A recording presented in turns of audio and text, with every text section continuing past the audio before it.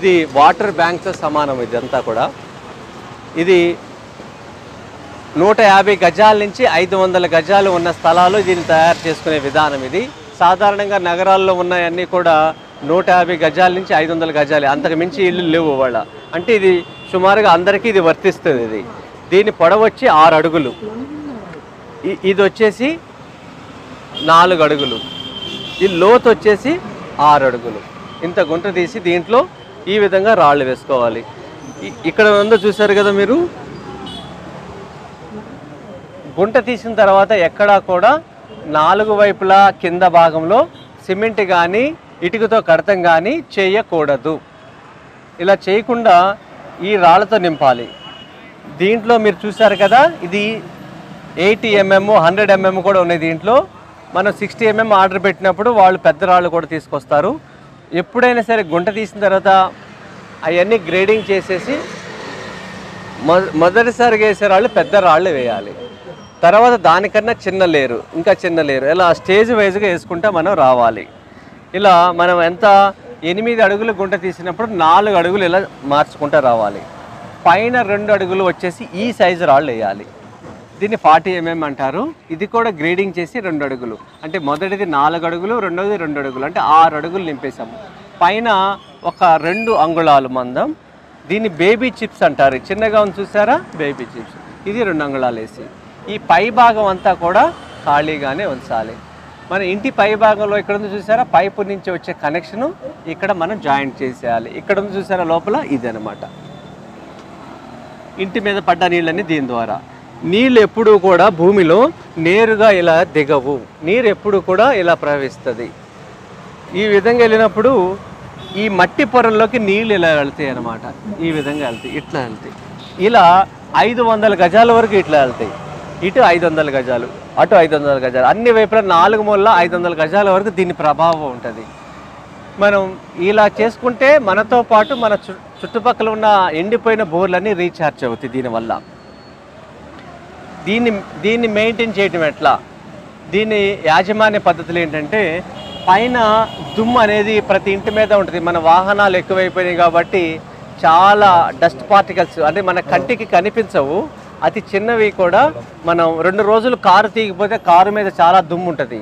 అలాగే ఇంటి పై భాగంలో దుమ్ము జమ అవుతుంది.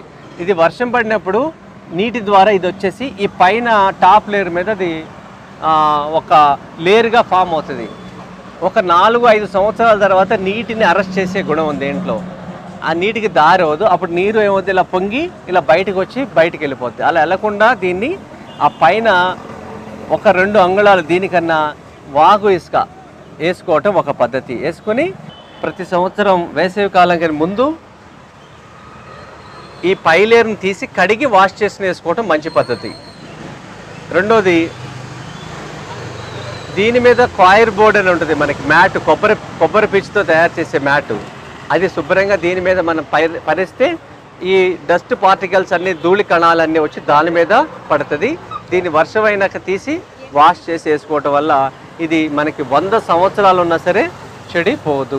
ఈ విధంగా మనం ప్రతి సంవత్సరం దీన్ని మెయింటైన్ చేస్తే మన భవిష్యత్ తరాలకి నీళ్ళని మనం పదిలంగా దాచిన వాళ్ళు అవుతాం. ఇది ఒక వాటర్ బ్యాంక్తో సమానం. చాలామందికి అపోహలు ఉన్నాయి ఇది కట్టుకోవటం వల్ల ఇంటి బిల్డింగ్లకు కానీ లేకపోతే పునాదులకు కానీ నష్టం వస్తుందని. ఇది అలా రాదు. నీరు అనేది అక్కడ ఉండదు. నీరు ప్రవహిస్తా లోపలికి. ఎక్కడైతే మనం నేల పొరల్లోకి ఇంకిస్తున్నామో ఈ నేల పొరలన్నీ ఖాళీ అయిపోయినాయి. నలభై అడుగులు మన పరిధి భూమి ఉపరితలంలో నుంచి నలభై అడుగుల్లో మనం ఉన్న నీళ్ళని తీసుకోవాలి. అలాంటిది మనం వాళ్ళ లోపలికి ఐదు వందల మీటర్ల వరకు లోపలికి వెళ్ళిపోయాము. దీనివల్ల భూమి ఖాళీ అయిపోయింది చాలా మటుకు. ఈ ఈ నేల పొరలోకి నీరు ఇంకుద్ది. దీనివల్ల మనం భయపడాల్సింది ఇంటి నిర్మాణానికి ఏది అవుద్దనే అపోహలు లేవు. గత ఇరవై సంవత్సరాల్లో రెండు వేల ఇంకుడు గుంటలు నేను నిర్మాణం చేశాను నగరంలో. ఈ ఎక్కడా కూడా బిల్డింగ్ కూలిపోవటం కానీ లేకపోతే వాళ్ళకి నష్టం వచ్చింది కానీ దాఖలాలు లేవు. నీరు అనేది అక్కడ ఉండదు. ఐదు వందల గజాలు పరిధిలో దీని ప్రవాహంలో చుట్టుపక్కల ఉన్న వాళ్ళు కూడా ఇది సపోర్ట్ చేస్తుంది. వాళ్ళతో కూడా చేయించడం వల్ల పక్క వాళ్ళతో కూడా చేయించడం వల్ల ఏమవుతుందంటే మీరు ఈ కట్టుకుంటున్నప్పుడు నిర్మాణంలో ఒక రెండు నుంచి నాలుగు వేల రూపాయలు ఖర్చు కూడా తగ్గుతాయి. అందరూ సామూహికంగా గుంట తీసుకొని ఈ రాళ్ళు ఖరీదు చేసినప్పుడు ఖర్చు కూడా మనకి తగ్గుద్ది అనమాట మనం అందరం బ్యాంకుల్లో అకౌంట్లు ఉన్నాయి మన అందరికీ. డైలీ మనం డ్రా చేస్తూ ఉండే పనే పెట్టుకున్నాము.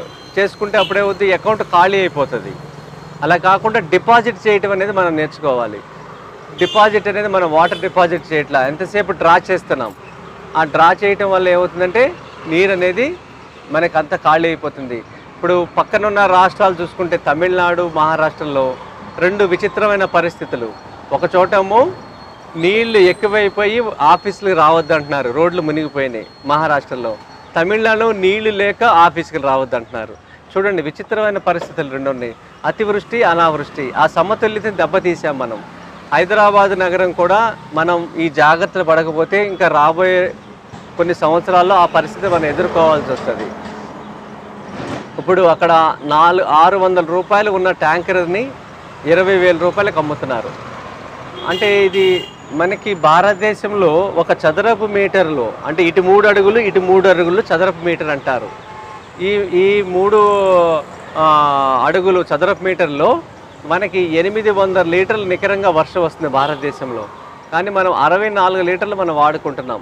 కారణం ఏంటంటే ఈజ్ అండ్ త్రో కల్చర్ వల్ల భూభాగాన్ని ఖాళీ మైదానాల్లో అంతా కూడా మనం అలా నింపి పెడతాం. అలా ప్లాస్టిక్ కవర్లతో నీళ్ళు ఇంకట్లేదు. నీరు అనేది ఆకాశం నుంచి వచ్చే నీరు అక్కడే ఇంకాలి నీరు పరిగెత్తకూడదు. ప్లాస్టిక్ కవర్లు అలా మూడు అంగుళాలు పెరిగిపోయింది బయట. దీనివల్ల నీరు ఇంకట్లేదు. అలాగే నగరీకరణ అని చెప్పి మనం కాలనీలని సిమెంట్ రోడ్లని తార్ రోడ్లని అపార్ట్మెంట్స్ కట్టుకుంటే కింద ఫ్లోరింగ్ చేసేసుకోవటం వల్ల నీరు అనేది ఇంకట్లేదు. అటు మైదానాల్లో పాడు చేసుకుని పాలిథిన్ వల్ల పాడు చేసాము మన నివాస ప్రాంతాల్లో నీరు ఇంకకుండా మట్టి వాసన పిల్లలకు తెలియకుండా మట్టి తెలియకుండా మనం పెంచుతున్నాము. దీనివల్ల భూగర్భ జలాలు రోజు రోజుకి పడిపోతున్నాయి. దాన్ని మనం యుద్ధ ప్రాతిపదికన ఎవరింట్లో వాళ్ళు ఈ ఇంకుడు గుంట తయారు చేసుకోవటానికి పూనుకోవాలి. ఇది ఈ ఇక్కడ ఆగస్టు పదిహే జూలై పదిహేను నుంచి ఆగస్టు పదిహేను వరకు ఈ శిబిరం ఇక్కడ నిర్వహిస్తున్నాము. స్వచ్ఛందంగా సేవకులు ఉన్నారు. మీ ఇళ్ళలో ఈ ఇంకుడు గుంట తయారు చేసుకుందామంటే మేము కొంతమందిని ఈ ఈ ఈ ఉద్యమంలో భాగంగా వాలంటరీగా వచ్చి పనిచేయడానికి సిద్ధంగా ఉన్నారు. అలాగే ఇది ఒక జాతి సమస్య. పని వాళ్ళ కోసం ఎత్తుకోకుండా కృతజ్ఞతాభావంతో నేల తల్లి మనకి ఇప్పటి వరకు మనకి పంటలనిచ్చింది నీరునిచ్చింది అప్పుడు ఆమె దాహంతో ఉంది. ఆ దాహాన్ని తీర్చడానికి పని వాళ్ళ మీద ఆధారపడకుండా కృతజ్ఞతాభావంతో మీరు గుంట తీయండి. డబ్బులు లెక్క చూడమాకండి. దీనికి ఎంత ఖర్చు అవుతుందని చాలామంది అంటున్నారు. ఎంత డబ్బులు ఉన్నా సరే నీరు లేకపోతే ఈ భూమి మీద మనం బతకలేము. అసలు కంపేర్ చేయడమే తప్పు పని అసలు మనం. అది ఇరవై వేలైనా నలభై వేలైనా సరే చేయించుకోవటం పని. ఇప్పుడు బ్యాంకుల్లో ఎంత బ్యాలెన్స్ ఉన్నా వాటర్ బ్యాలెన్స్ లేనప్పుడు ఈ డబ్బులు ఎక్కడ ఉపయోగపడుతున్నాయి? అనే దానికి ఇది నీరు తాగే వాళ్ళ బాధ్యత కానీ గవర్నమెంట్ బాధ్యత కాదు. ఈ భూమి మీద ఉన్న నాళ్ళు నీరు తాగాలి కాబట్టి మనం ఇది మనం మన బాధ్యత సామాజిక బాధ్యత. గవర్నమెంట్ సబ్సిడీస్ దని వాటి కోసం చూడకుండా కృతజ్ఞతాభావంతో ఈ పని మనం అందరం వేగవంతంగా చేసి భవిష్యత్ తరాలకి ఈ సంపదని పదలంగా అందిద్దాం. నా పేరు విజయరామ్. ప్రకృతి వ్యవసాయం కార్యాలయం number zero four zero two seven six five four double three seven ఇంకొక number zero four zero two seven six three five eight six seven